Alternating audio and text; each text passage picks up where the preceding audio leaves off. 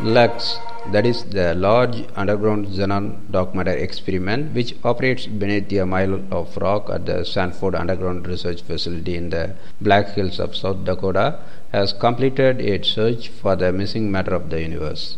At an international dark matter conference, IDM 2016 UK, LUX scientific collaborators presented the results from the detector's final 20 month run from October 2014 to May 2016.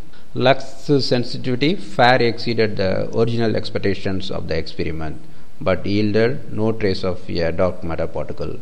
Lux extreme sensitivity makes the team confident that if dark matter particles had interacted with the Lux xenon target, the detector would almost certainly have seen them. These new limits on dark matter detection will allow scientists to eliminate many potential models for dark matter particles, offering critical guidance for the next generation of dark matter experiments. Dark matter is thought to account for more than four fifths of the mass in the universe. Scientists are confident of its existence because the effects of its gravity can be seen in the rotation of galaxies and in the way light bends as it travels through the universe.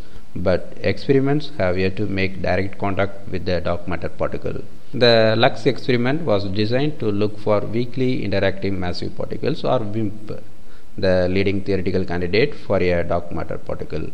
If the WIMP idea is correct, billions of these particles pass through your hand every second and also through the earth and everything on it.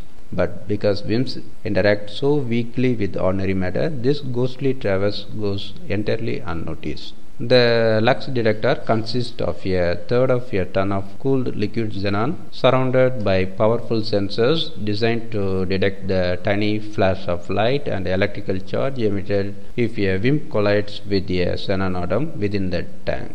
The detector's location at Sanford lab beneath a mile of rock and inside a 72,000 gallon high purity water tank helps shield it from cosmic rays and other radiation that would interfere with a dark matter signal.